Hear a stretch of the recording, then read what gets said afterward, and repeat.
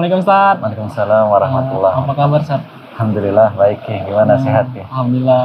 Alhamdulillah. Akhirnya hari ini kita janjiannya di masjid ini Ustaz ya. Iya alhamdulillah Jumpa lagi. ya. Kita belajar di rumah Allah mudah-mudahan apa yang kita pelajari nanti lebih berkah ya, lebih Amin, bermanfaat bagi amin. kita nanti. Amin Ustaz.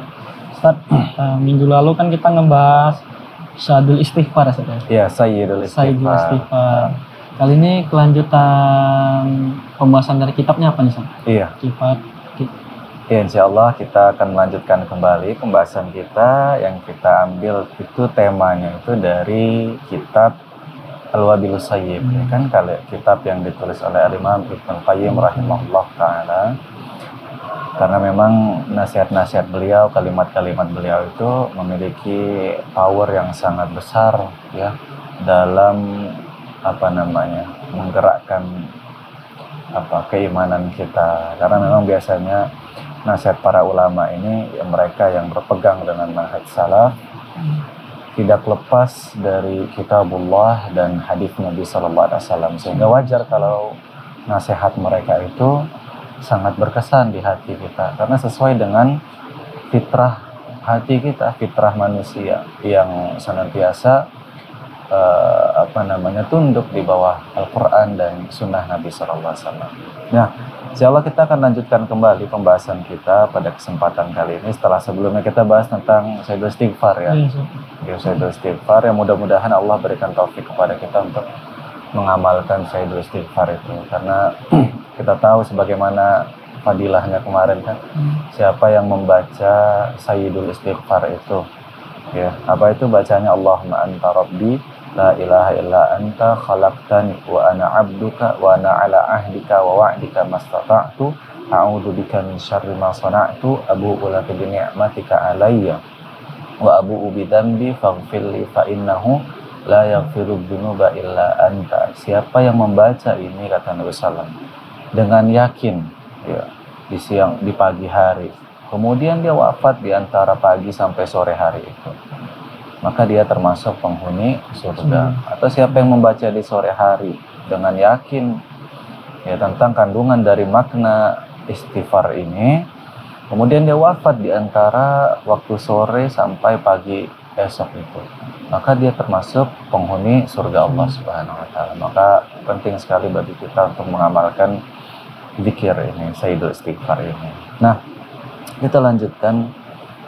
Eh, masih seputar tentang bagaimana sih kita harus berjalan ya dalam ya menjalani kehidupan kita ya menuju Allah Subhanahu wa taala karena pada hakikatnya kita semua kan sedang berjalan menuju Allah ya. Ya. Siapa pun orangnya. Ya, siapa pun orangnya mau dia seorang muslim, mau dia seorang kafir, muslim yang soleh ataupun yang fasik, semua manusia kita semua sedang berjalan menuju Allah Subhanahu wa taala. Artinya karena kita semua akan kembali lagi nanti akhirnya kepada Allah. Inna lillahi wa inna ilaihi raji'un. Ya kan? Nah, kita kemarin sempat bahas bahwasannya ya dalam menjalani kehidupan ini ada dua hal penting, ada dua sayap yang harus kita perhatikan dengan baik dalam kehidupan kita. Yang pertama memperhatikan nikmat Allah yang ada pada diri kita, karunia Allah. Dan yang kedua adalah fokus memperhatikan aib diri kita sendiri. Ya. Nah kita akan sedikit membahas lagi kali ini lebih dalam lagi tentang memperhatikan nikmat Allah Subhanahu Wa Taala yang ada pada diri kita. Kenapa sih? Gini, kita berharap bisa menjadi seorang hamba yang sejati bagi Allah Subhanahu wa taala. Seorang hamba yang mencintainya. Ya. Kadangkala yang membuat kita susah dalam menjalani syariat Allah, dalam melakukan ketaatan kepada Allah, meninggalkan kemaksiatan, dosa yang Allah larang pada kita. Salah satu faktornya adalah karena kurangnya cinta kita kepada Allah Subhanahu wa taala. Karena ketika kita mencintai Allah akan mudah bagi kita untuk melakukan Melakukan apa yang dia perintahkan dan meninggalkan apa yang dia larang. Simpelnya begini, kalau antum ya Ki punya istri yang antum cintai atau orang tua, Hmm. antum sangat mencintai orang tua antum. Begitu. Maka apa yang diminta oleh orang tua pasti kita akan mudah untuk mengerjakannya. Kita siap karena kita cinta kepada orang tua kita. Dan apa yang tidak diinginkan orang tua kita dari diri kita, maka kita akan tinggalkan itu pasti.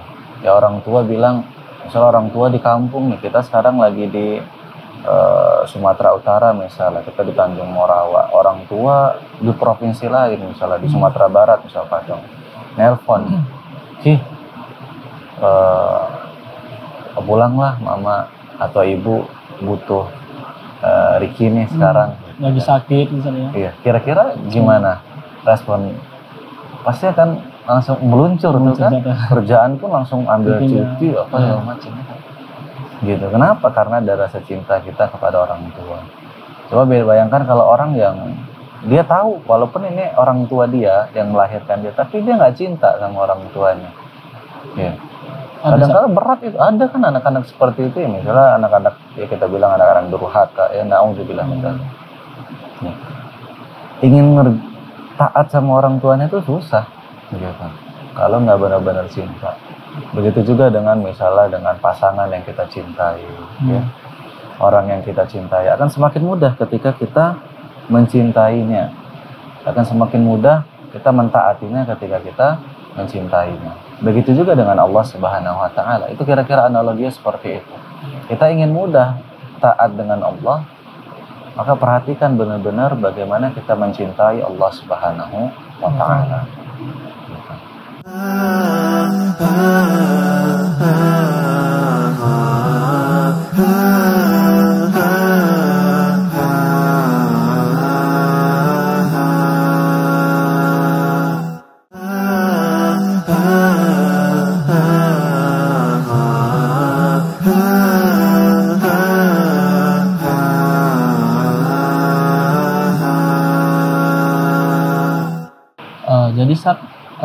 Kan tentunya orang yang nggak bergegas melakukan ibadah, tidak terpanggil hatinya untuk melakukan ibadah, gemar melakukan maksiat, itu terindikasi bahwa sana mereka tidak mencintai Allah. Nah, bisa dibilang seperti itu. Salah satu faktornya adalah eh, kurangnya cinta dia kepada Allah Subhanahu wa taala.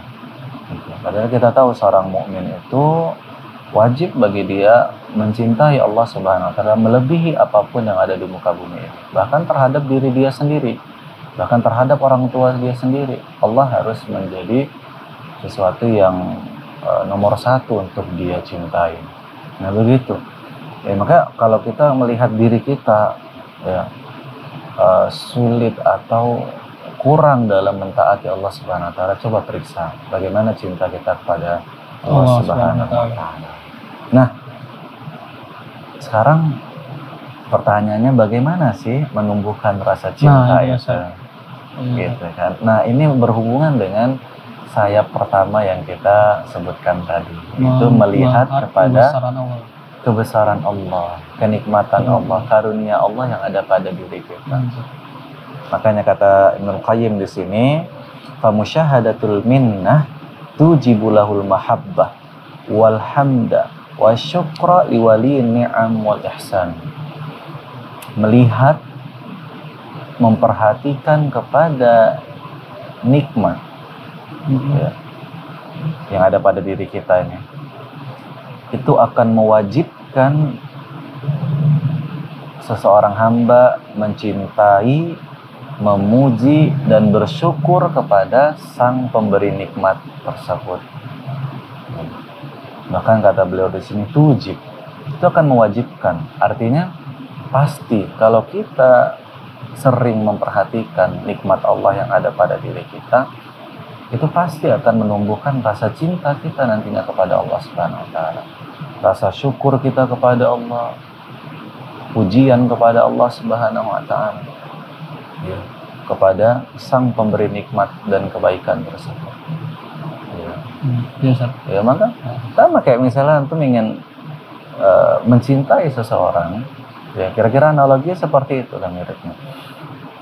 Kita juga akan memperhatikan bagaimana kebaikan-kebaikan dia yang ada pada diri kita, ya kan? Iya. Semakin kita renungi kebaikan yang dia lakukan kepada Semakin kita, sadar. semakin kita akan berterima kasih kepadanya, semakin kita akan memujinya, semakin kita akan mencintai dia. Ya. Ketika kita melihat, ya sama seperti misalnya orang tua, oh Ustaz, Ana juga eh, punya kayaknya susah untuk taat sama orang tua. Kok kadang disuruh orang tua suka jengkel apa nggak suka gitu. Atau seorang istri dia diperintahkan oleh suami mengerjakan sesuatu, ya kan mengerjakan perintah suami itu kewajiban bagi seorang istri Hmm. Kok susah ya Ustadz ya? Kok kayaknya ada sesuatu ada ganjalan di hati untuk taat sama suami. Iya, Ustaz. ya bisa jadi mungkin ada kurang kecintaan kita kepada suami atau kurang banyak melihat nikmat suami yang ada pada dirinya.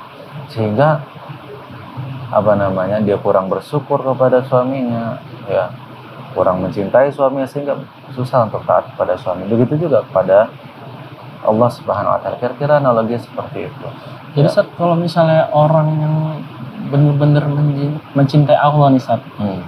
dia pasti terlepas dari namanya itu mengeluh Ustaz ya. Iya. Orang-orang yang banyak mengeluh itu berarti bisa diindikasikan dia juga kurang kurang cinta sama Allah Ustaz.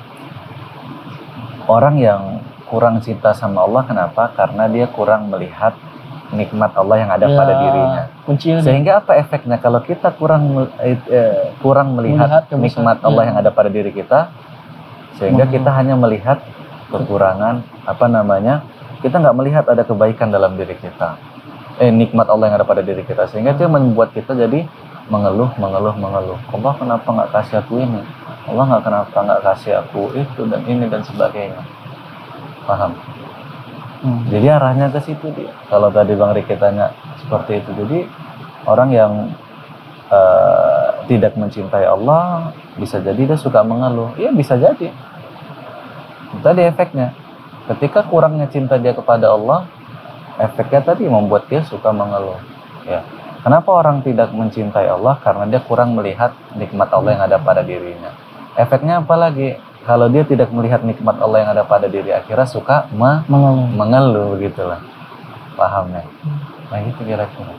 Makanya ini berkaitan dengan pertanyaan Bang Riki tadi. Nah kita kembali. Ya. Jadi untuk menumbuhkan rasa cinta kita kepada Allah memperbanyak melihat nikmat Allah yang pada yang ada pada diri kita. Ya. Nah apa sih di antara nikmat Allah yang ada pada diri kita ya, apa sih di antara nikmat Allah yang ada pada diri kita? Ada banyak sekali. Banyak tuh ya. banyak sekali.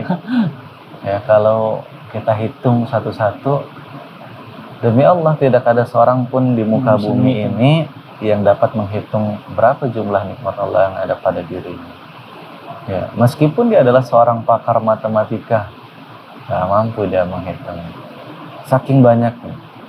Karena siapa yang mengatakan demikian? Allah sendiri Wa in ta'uddu ni'matallahi la tuhsuha. Kalau kalian menghitung-hitung nikmat Allah, maka kalian tidak akan dapat menghitungnya dengan benar, dengan tepat. Saking banyaknya nikmat Allah pada diri. Bahkan kalaupun dihitung, jangankan nikmat dari dia mulai lahir sampai usia dia sekarang.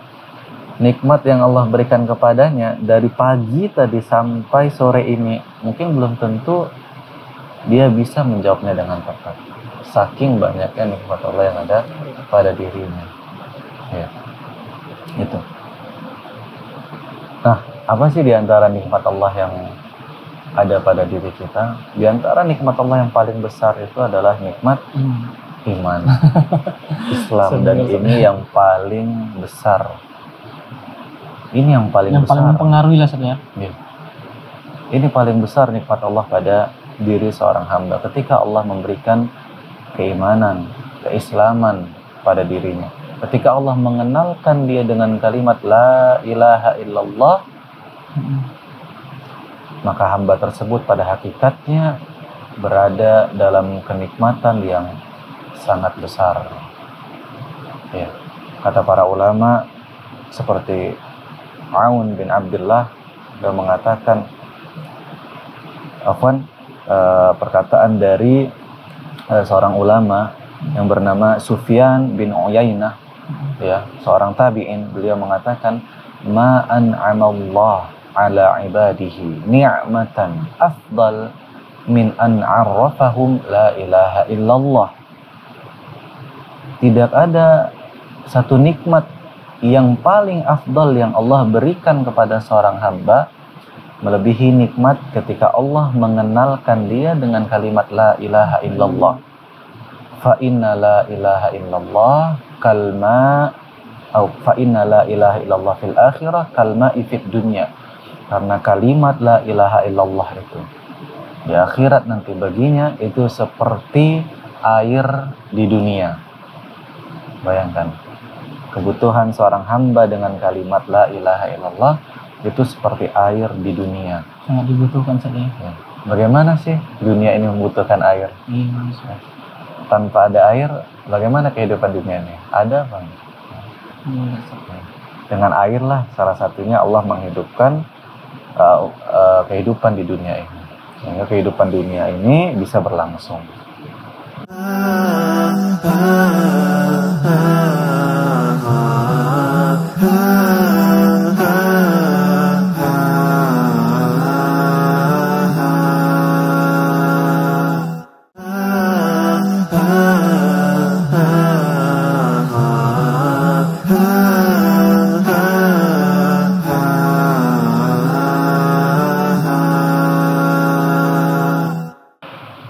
jadi nikmat yang pertama tadi adalah nikmat Islam. Hmm. Eh, ketika kita kita bisa kenal dengan kalimat la ilaha illallah maknanya apa, kemudian kita amalkan. Itu kebutuhan kita dengan kalimat ini nantinya di akhirat itu seperti butuhnya bumi ini, dunia ini dengan air. Sangat-sangat ya. Sangat-sangat butuh. Kalau nggak kering, akhirnya bisa mati keberlangsungan kehidupan di dunia ini. Ya. Nah itu salah satu nikmat dan dia merupakan nikmat terbesar pada diri seorang hamba. Kemudian apa sih di antara nikmat Allah yang besar yang bisa kita syukuri sehingga menambahkan rasa cinta kita kepada Allah, terima kasih kita kepada Allah. Jadi antaranya seperti nikmat sehat dan waktu luang. Waktu luang. Ya. Kata Nabi SAW, ni'matadi maghbunun ma kathirun minan nas.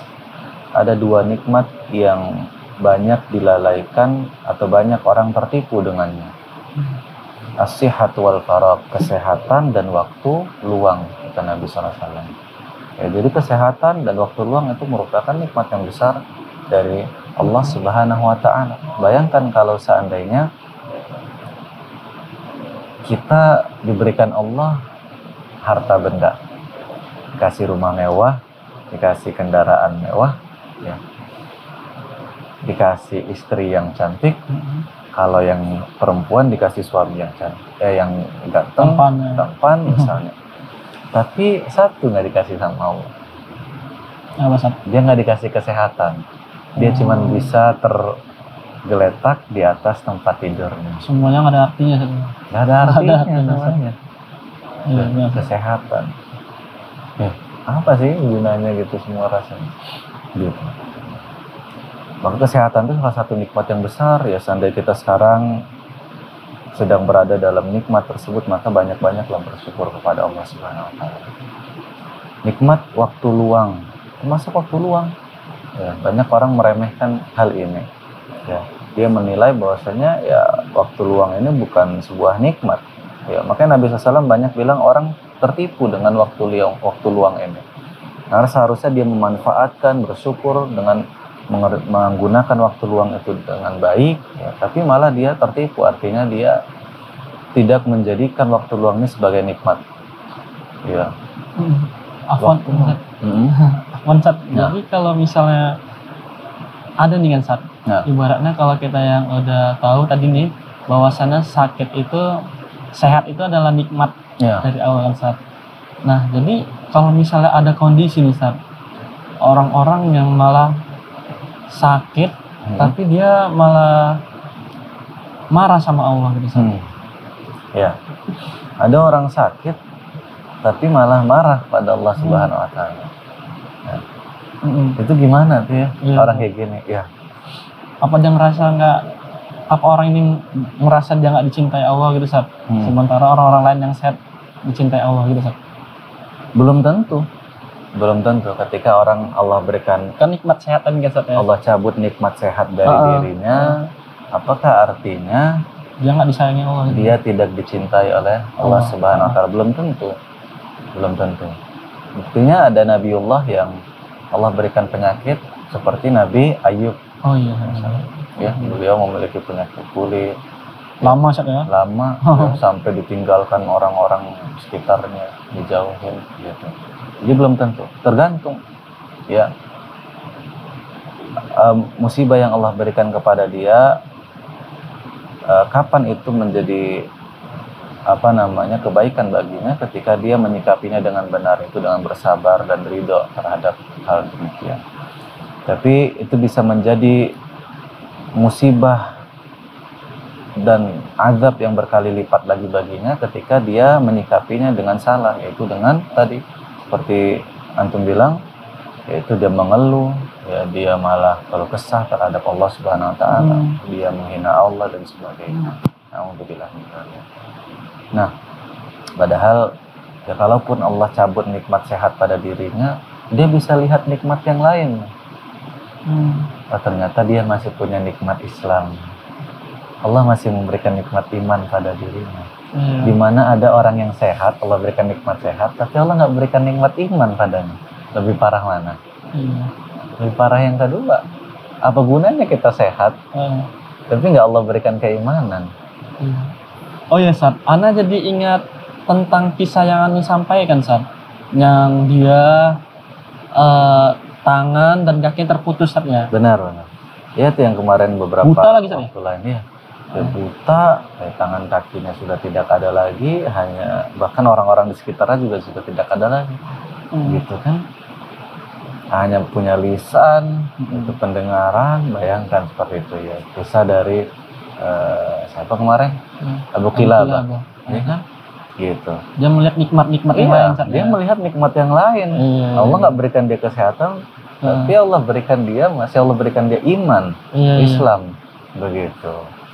Nah, jadi seharusnya itu seperti itu tuh. Nah, di antara nikmat Allah yang besar yang Allah berikan kepada kita, ini perkataan bagus sekali dari Al-Imam Al-Hasan Al-Basri kata beliau as-sahwu wal amalu ni'matani 'azimatani 'ala bani Adam. Lupa dan harapan atau cita-cita merupakan dua nikmat yang besar pada diri seorang manusia. Maksudnya lupa, lupa dan dan harapan. Harapan. Ya. Kenapa gitu? Bayangkan. Lupa. Ini banyak orang nggak sadar kalau ini ternyata nikmat yang besar dari Allah SWT. Lupa. Lupa Coba bayangkan kalau sekarang antum okay, punya orang yang antum cintai. Oh. Istri antum misalnya. Oh. Ya. Antum sangat mencintainya. Qadarullah dia dipanggil duluan. Dia kembali ke Allah duluan. Hmm. Dia meninggal duluan. Hari pertama antum bersedih. Karena apa?